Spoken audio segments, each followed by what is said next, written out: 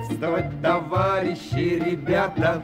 Конечно, если дома вы, они ушли куда-то. И просим вас немедленно оставить все дела. Радио няня сегодня к вам пришла. Радио няня, радио няня, есть такая передача. Радио няня, радио няня, у нее одна задача, чтоб все девчонки и все мальчишки подружились с ней. Чтоб всем ребятам, всем трунелятам было веселей. Чтоб всем ребятам, всем трунелятам было веселей. Здравствуйте, дорогие ребята! Здравствуйте, мои милые друзья! Мы разбирали ваши письма и увидели, что некоторые ребята задают нам один и тот же вопрос. Что делать, если утром не хочется вставать? По-моему, это интересный вопрос. В нем надо разобраться серьезно, я бы даже сказал, научно. Вот скажите, пожалуйста, уважаемые помощники, Так. что, по-вашему, в раннем вставании самое трудное? Самое трудное – это после того, как проснешься, подняться и сесть в кровати. Значит, трудно сесть. Не, сесть не трудно. Трудно усидеть с закрытыми глазами. Теряется равновесие и снова падаешь, но уже почему-то в другую сторону. Ноги оказываются на подушке, а голова в ногах. Так что же вы предлагаете? Мое изобретение. Надо класть на кровать две подушки. Одну в голову, другую в ноги. Простите, пожалуйста, но ребята спрашивают не как легче спать, а как легче встать. Встать-то легко, трудно проснуться. Я знаю один способ. Перед тем, как заснуть, надо сказать себе, я встану рано, я встану рано, я встану рано. А, я знаю, это хороший способ. Но он у меня почему-то не получается. Я вечером говорю себе, я встану рано, я встану рано, я встану рано. А утром у меня получается, пусть встанет мама, пусть встанет мама, пусть встанет мама. А вот другой изобретатель по имени Саша из города Пскова пишет, что каждое утро его будет собака-жучка. Она стаскивает с него одеяло, Саша начинает за ней гоняться, а когда догонит, то спать уже не хочется. Ну, ему хорошо. А как быть, если в доме черепаха? Все уже в школе, а она только из-под кровати вылезает. А вот послушайте, Витя Понярский из поселка Абрамцево Московской области вызвал на соревнование свою бабушку. О, Кто раньше встанет? Но, пишет Витя, мне жалко бабушку, и поэтому я всегда ей проигрываю, встаю на полчаса позже. А я придумал. Надо ложиться в кровать в ботинках с длинными шнурками. Шнурки от ботинок завязать сзади, на шее. Вот когда утром с кровати опускаешь ноги, шнурки поднимают голову и не дают ей снова упасть на кровать. Друзья мои, а по-моему, самый лучший способ – это старые. Пораньше лечь спать, а утром быстро встать, сделать зарядку, умыться. И лечь снова. Да нет, нет, если проделать все то, что я сказал, ложиться уже не захочется. Николай Владимирович, но ведь проделать все, что вы сказали, это и есть самое трудное. Да, сначала может быть трудно, а потом это войдет в привычку, и вы будете с улыбкой вспоминать то время, когда вам утром не хотелось вставать. Да, вот так вспомнил это время композитор Михаил Зив, улыбнулся, и у него получилась песенка.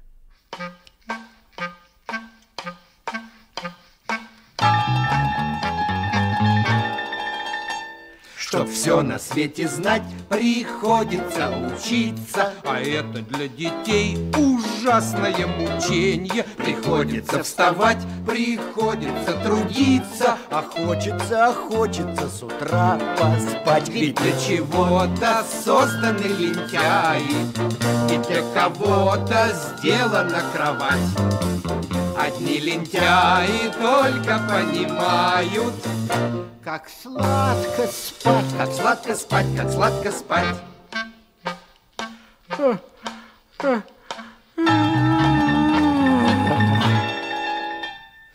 Хочет все успеть, обязан торопиться. А это для детей ужасное мучение. Ведь надо все надеть и не забыть умыться. А хочется, а хочется с утра поспать Ведь для чего-то созданы лентяи И для кого-то сделана кровать Одни лентяи только понимают Как сладко спать. Как сладко спать, как сладко спать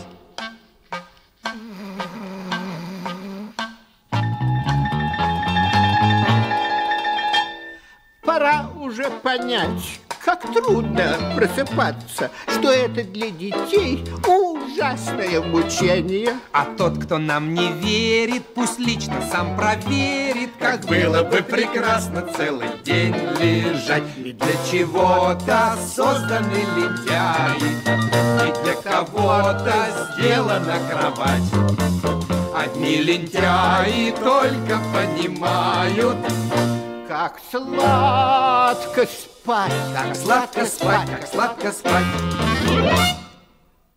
Здравствуйте, дорогие ребята, юные хоккеисты и юные болельщики. У микрофона радио «Няни» заслуженный мастер спорта, вратарь сборной Советского Союза по хоккею Владислав Третьяк. Я вижу, дорогие ребята, прислали мне очень много писем. Мне бы одному, наверное, пожалуй, не разобраться в них, так что я попрошу помочь мне. С удовольствием. Вот начнем с первого вопроса. Помните, вы спросили, может ли вратарь в игре стоять без маски? Интересно, что ребята ответили? Ну, подавляющее количество ребят ответило так. Вратарь без маски играть не может. И объяснили почему. Вот, например, второклассник Олег Новиков из города Киева пишет. «На Без маски играть вратарю нельзя по технике безопасности, так как можно травмировать лицо. Он правильно ответил. А Игорь Шинкаренко говорит, что вратарь может стоять без маски, но для этого он должен обладать исключительной смелостью и иметь великолепную реакцию. А вот это письмо вам лично, Владислав Александрович. Прочтите, пожалуйста, это очень интересно. Вам, Владислав Третьяк, я просто не разрешаю появляться без маски на льду, потому что вы сами знаете, какая у вас внешность. И это будет, конечно, трагедия кое для кого. Что вы скажете по этому вопросу? Может ли вратарь стоять в игре без маски? Раньше, лет 15-20 назад, вратари стояли без маски, потому что игроки не могли шайбу оторвать от льда. И, в общем-то, опасности для вратаря никакой не было.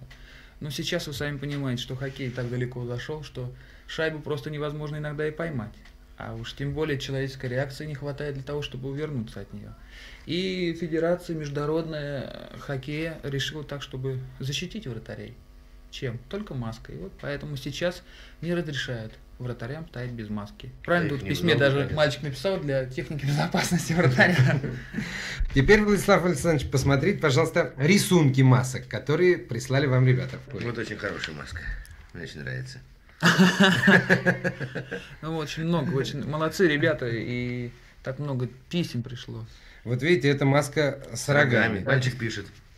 Я желал бы маску с рогами, чтобы противник боялся подойти к воротам, и шайба всегда будет у наших. Он ее с перепугу отдаст. Это точно.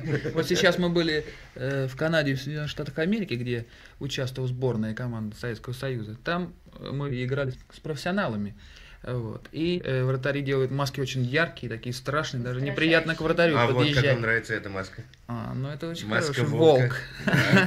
А вот. Бармалей. Вот здесь нарисована кошка, а для устрашения подпись «Тигор». Да, я видел здесь даже рисунок солнышка.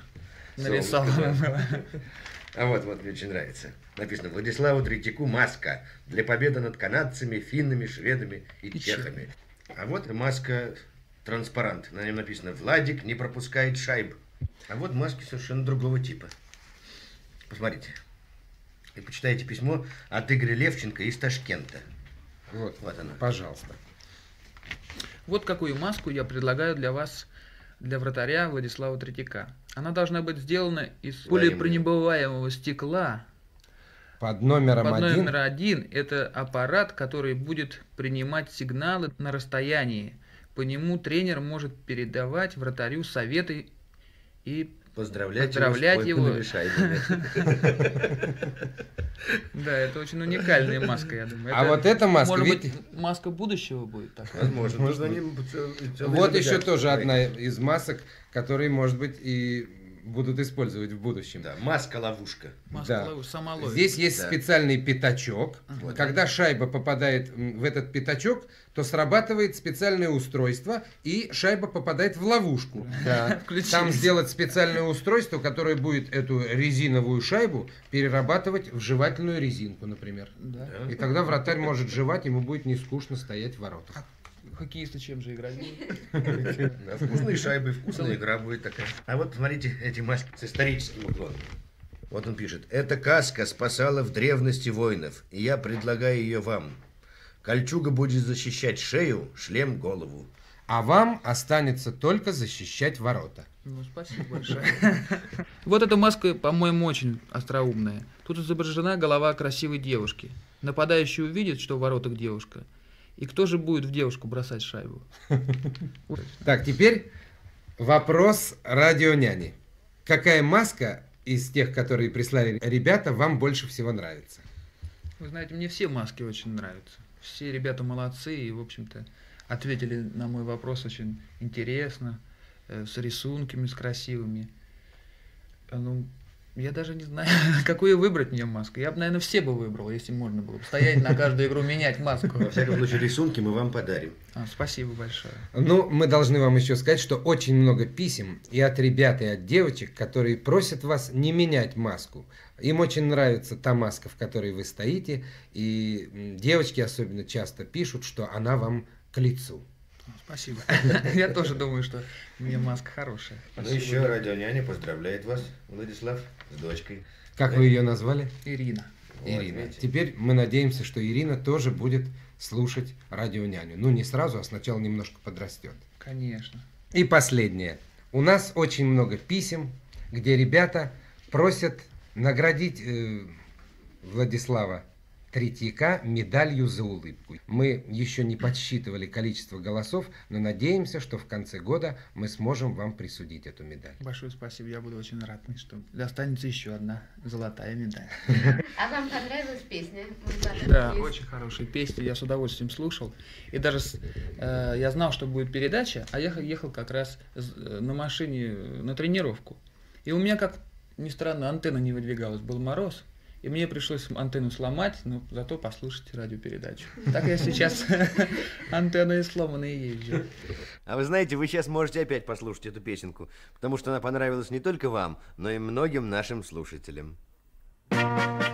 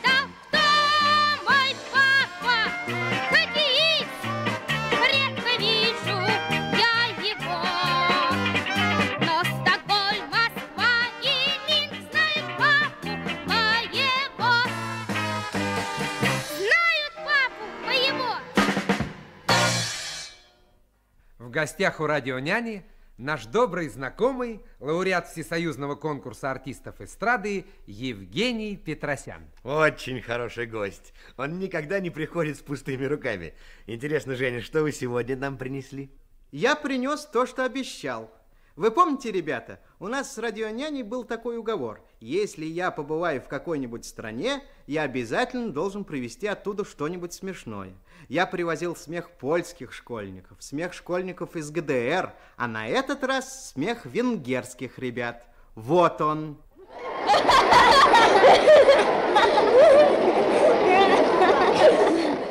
А теперь послушайте, над чем они так смеялись.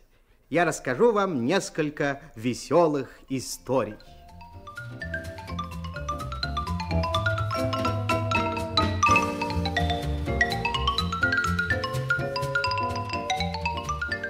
Два школьника встретились на улице, а мне выдернули зуб. Ну и как еще болит, не знаю. Он остался у доктора.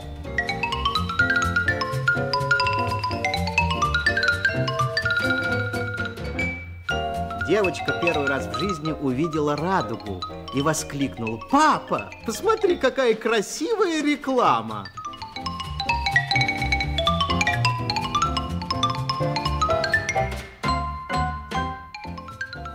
Мама слышит страшный шум в комнате. Что такое? Что случилось? Играем в части света, отвечает Ласло. Я Европа, Юцика Азия, Янцика Африка, Божика Австралия. А почему же Пиштека под кроватью, спрашивает мама? Потому что он Америка, а она у нас еще не открыта.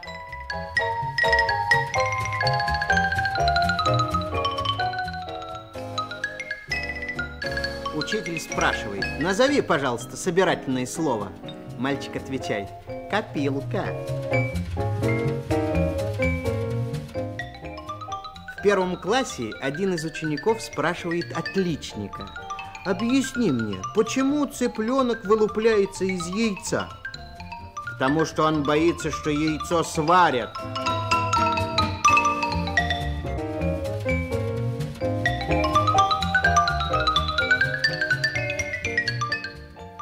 Дорогие ребята, если вы смеялись над этими забавными историями, то знайте, что вы смеялись уже четвертыми. Первыми смеялись сами венгерские школьники. Потом смеялась наша переводчица Галина Исаева. Потом я. И, наконец, вы. Но, как говорится, хорошо смеется тот, кто смеется последним.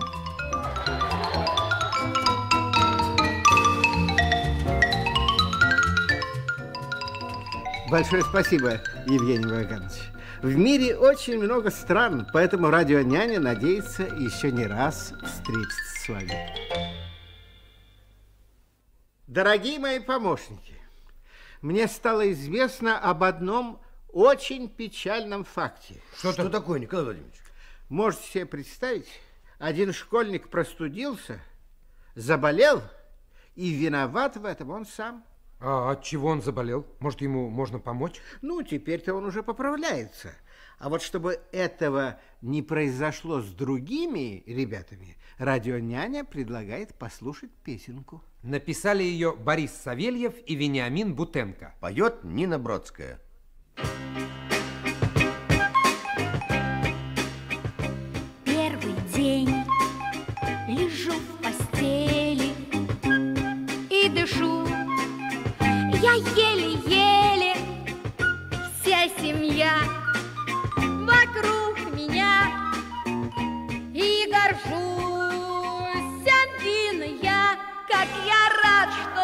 заболел, только пол сосульки съел.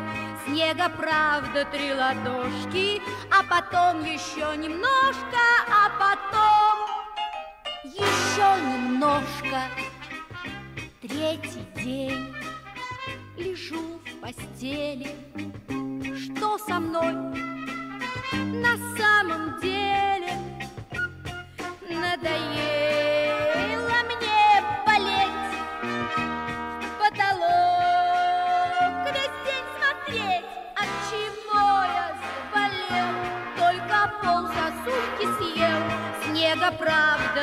ладошки, а потом еще немножко, а потом еще немножко.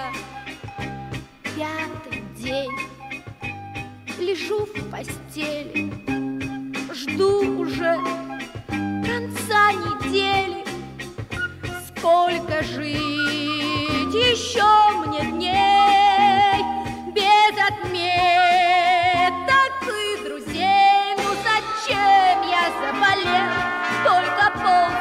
ложки съел. Снега, правда, три ладошки, а потом еще немножко, а потом еще немножко.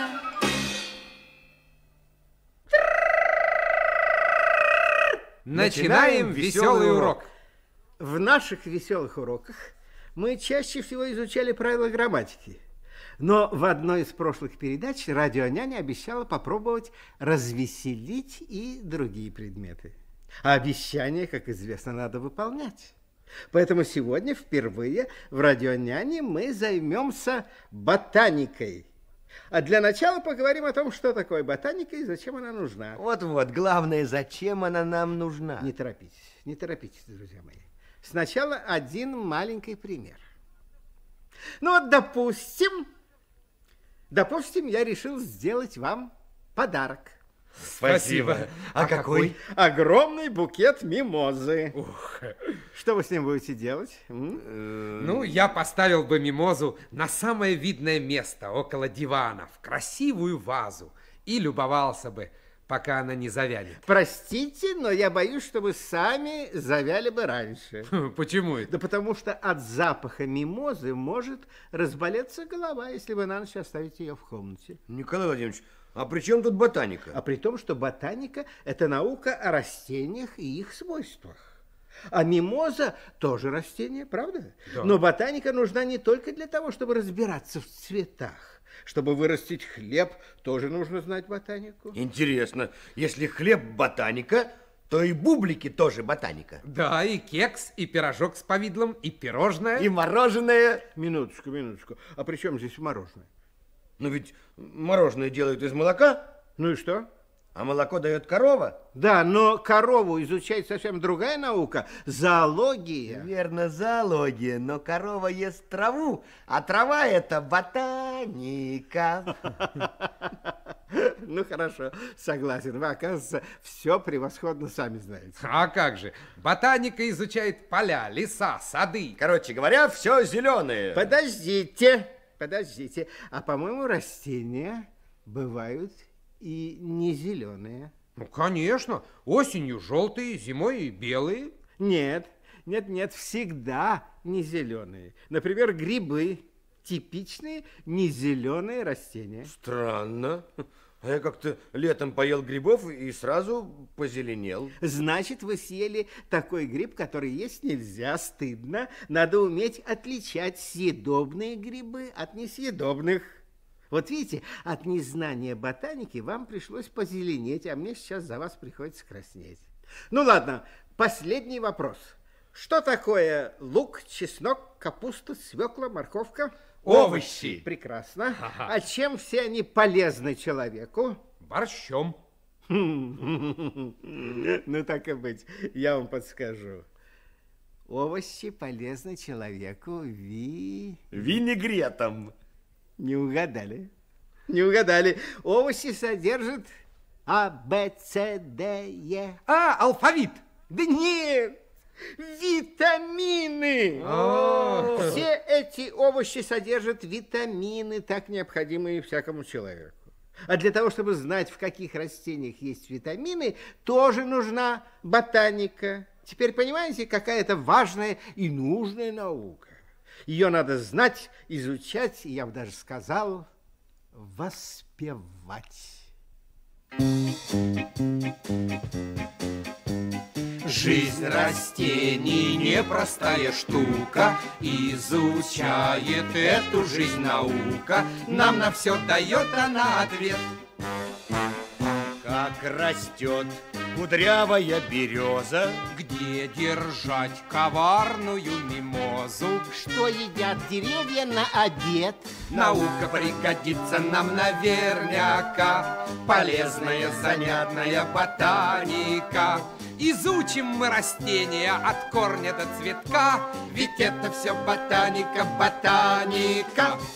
если вы ангиной заболели, Если говорите еле-еле, Значит, горло полоскать пора. Выполняйте точно назначение. с помощью лекарства из растений Быстро вам помогут доктора. Наука пригодится нам наверняка. Полезная, занятная ботаника. Изучим мы растения от корня до цветка. Ведь это все ботаника, ботаника. Из растений делают варенье. Вкусные компоты и печенье. И для нас душистый чай растет. Хлопок нас красиво одевает. И для нас все розы расцветают. Это все ботаника дает. Наука пригодится нам наверняка. Полезная, занятная ботаника. Изучим мы растения от корня до цветка. Ведь это все ботаника, ботаника. Вот и все. Веселый урок окончен. Радио няне очень хочется, чтобы после сегодняшней передачи все ребята научились легко и быстро вставать утром, как это делают наш радиоволшебник Николай Владимирович Литвинов и автор передачи Григорий Минников. Режиссер Татьяна Сапожникова и редактор Елена Лебедева надеются, что никто из наших слушателей не будет больше грызть сосульки. А я хочу думать, что наши ведущие Александр Лившиц и Александр Левинбук полюбят ботанику так, как ее полюбили авторы «Веселого урока» Юлий Котиков и Юрий Багрянцев. Хотим, чтобы всегда вам с нами было интересно. А как добиться этого, пока что неизвестно. Быть может, вы подскажете, как верные друзья. Ведь это только в школе. Подсказывать нельзя. Радио няня, радио няня, есть такая передача. Радио няня, радио няня, у нее одна задача, чтоб все девчонки и все мальчишки подружились с ней. Чтоб всем ребятам, всем трулялятам было веселей. Чтоб всем ребятам, всем трулялятам было веселей. Радио няня, радио няня, есть такая передача. Радио няня, радио няня, у нее одна задача, чтоб все девчонки и все мальчишки подружились с ней. Чтоб всем ребятам, всем трулялятам было веселей. Чтоб всем ребятам, всем трулялятам было веселей.